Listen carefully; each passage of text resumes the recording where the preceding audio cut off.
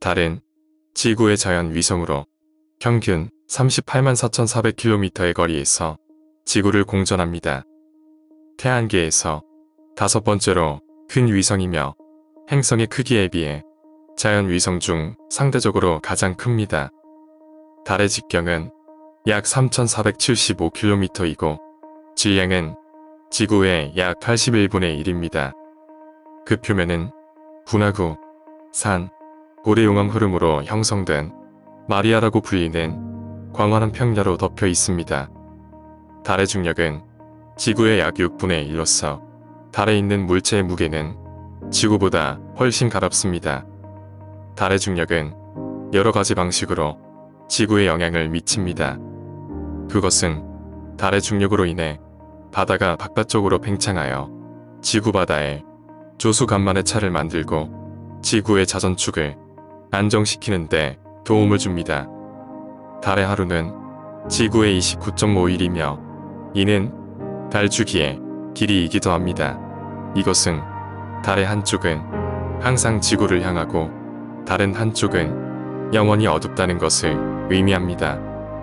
태양, 지구, 달 사이에 각도 변화로 인해 발생하는 달의 위상은 수천 년 동안 관찰되어 시간을 추적하는데 사용되었습니다. 달은 우리가 알고 있는 것처럼 생명이 살기에 부적합한 곳입니다. 태양풍으로부터 보월대기나 자기장이 없으며 표면은 방사선과 미세운 속에 의해 지속적으로 폭격을 받습니다.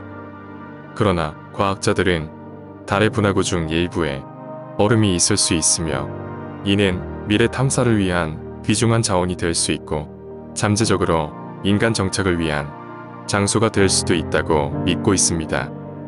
달은 태양계의 초기 역사와 행성 및 위성의 형성과 진화에 대한 통찰력을 제공하기 때문에 과학자들에게 계속해서 중요한 연구 대상입니다. 달의 탄생에 대해 가장 널리 받아들여지는 과학이론은 테이아 가설로 약 45억 년 전 화성 크기의 물체인 테이아가 지구와 충돌했을 때 달이 형성되었다는 이론입니다. 이 이론에 따르면 태양계가 아직 젊고 지구가 완전히 형성되지 않았을 때 발생한 충돌로 엄청난 양의 잔해가 우주로 분출되어 결국 달로 합쳐지는 사건이었습니다. 테이아는 지구와 충돌하기 전에 태양계의 다른 부분에서 태양을 공전하고 있던 원시 행성으로 여겨집니다. 테이아가 지구와 충돌하면서 많은 양의 물질이 우주로 분출되며 행성 주위의 고리를 형성했고 이 잔해 고리는 점차 달로 합쳐져 결국 지구 주위의 궤도에 안착했습니다. 테이아 가설은 수많은 관찰과 시뮬레이션에 의해 뒷받침됩니다.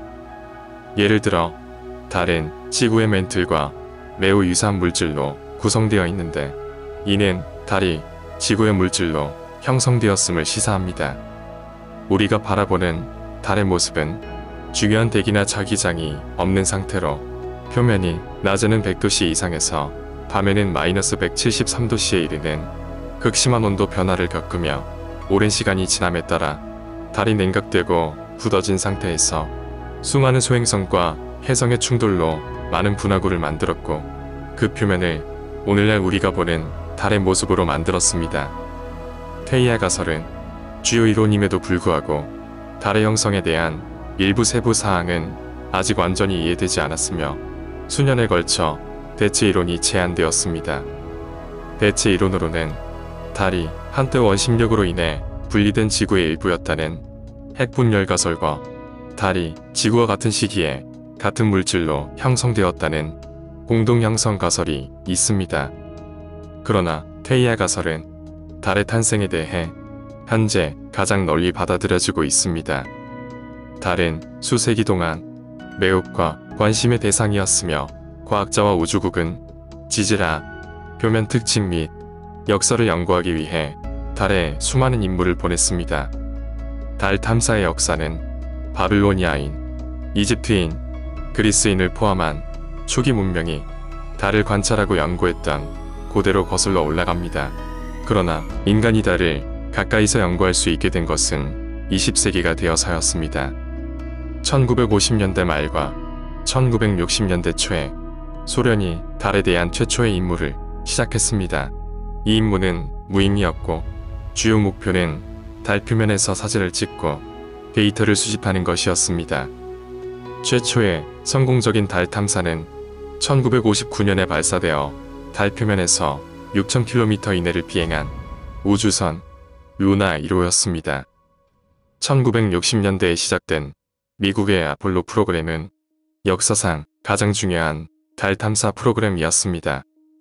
아폴로 프로그램의 주요 성과를 연대순으로 나열해 보겠습니다. 1967년 아폴로 1호는 비록 비극으로 끝났지만 아폴로 1호의 임무는 아폴로 프로그램의 첫 유인 임무였습니다. 아폴로 1호는 지상시험 중 기내 화재로 거스 그리섬, 에드 화이트, 로저 채피, 3명의 귀중한 우주 비행사를 잃었습니다. 1968년 아폴로 7호는 첫 번째 성공적인 유인 임무였습니다. 3명의 대원은 11일 동안 지구 궤도를 돌며 우주 비행사를 달로 데려다 줄 지휘 서비스 모듈을 테스트했습니다. 1968년 아폴로 8호는 지구 궤도를 떠나 달로 여행하는 최초의 유인 우주선 임무였습니다. 3명의 승무원은 유명한 Earthrise 사진을 찍고 지구에 크리스마스 이브 메시지를 방송하면서 달 궤도를 10번 돌았습니다. 1969년 아폴로 9호는 지구 궤도에서 달 모듈 CSM을 테스트하는 최초의 유인 임무였습니다. 3명의 승무원은 다가올 달 착륙을 준비하기 위해 여러 가지 테스트와 임무를 수행했습니다. 1969년 아폴로 10호는 달 착륙선이 달 표면에서 불과 약 14.5km 이내로 하강하는 달 착륙을 위한 드레스 리허설이었습니다. 이 임무는 다가오는 아폴로 11호 임무에 대한 귀중한 경험과 데이터를 제공했습니다. 아폴로 10호는 사령관 토머스 스태퍼드, 사령선 조종사 존 영, 달 착륙선 조종사 유진 서넌 3명의 승무원이 탑승했습니다. 1969년 7월 16일 발사된 아폴로 11호는 달에 착륙한 최초의 유인 우주선이 되었습니다. 닐 암스트롱이 사령관을 맡았으며 버즈 올드린은 달 착륙선 조종사로 마이클 콜린스는 사령선 조종사로 탑승했습니다. 달까지 4일간의 여행 끝에 이글이라는 이름의 달 탐사선이 사령선에서 분리되어 1969년 7월 20일 달 표면에 착륙했습니다. 미의 안스트롱은 인류 최초로 달 표면에 첫 발을 내디디며 한 인간에게는 작은 한 걸음이지만 인류에게는 위대한 도약이다라는 명언을 남깁니다. 올드리는 곧 이어 달 표면을 탐험하며 샘플을 수집하고 실험을 수행하는데 미의 안스트롱과 함께 2시간 이상을 보냈습니다. 아폴로 11호 승무원은 1969년 7월 24일에 지구로 귀환했고 전 인류에게 영웅으로 환영받았습니다. 아폴로 11호 임무의 성공은 나사와 미국의 주요 선거였으며 인류 역사에서 결정적인 순간으로 아직까지 남아 있습니다. 아폴로 프로그램은 1975년 소련 소유주 우주선과 미국 아폴로 우주선을 도킹 궤도에 진입시킨 소련과의 공동 임무인 아폴로 소유주 패스트 프로젝트로 종료되었습니다.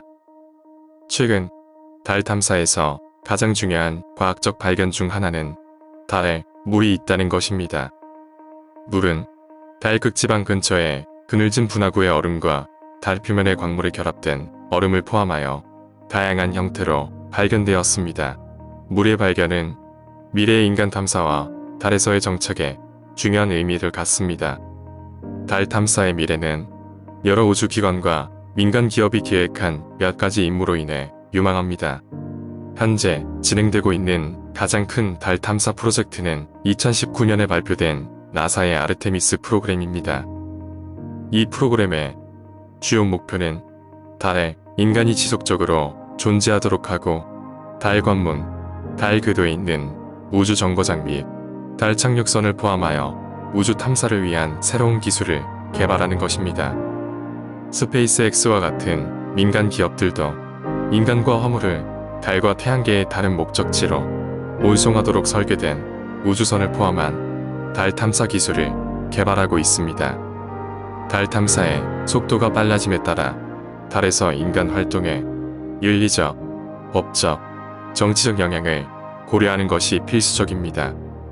가장 중요한 문제 중 하나는 달 표면의 역사 및 과학 유적지 보존을 포함하여 다환경을 보호하는 것입니다. 또 다른 중요한 문제는 서로 다른 우주기관과 민간 기업 간의 갈등과 경쟁의 가능성입니다. 1967년 우주조약은 국제협력과 달을 포함한 우주의 평화적 사용을 위한 들을 제공합니다.